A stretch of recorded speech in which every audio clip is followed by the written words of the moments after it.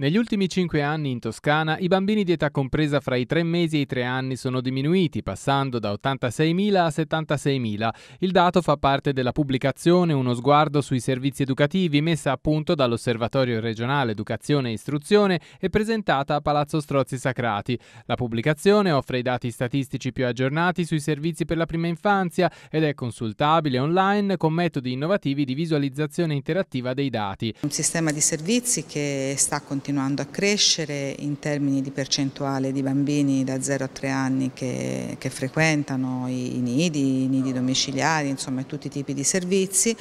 ma che eh, continua a crescere perché qui c'è una forte attenzione di Regione Toscana anche in qualità. Quindi noi abbiamo un, un sistema di governance che mh, coinvolge i, i, territori attraverso le, le, le, le, zone educative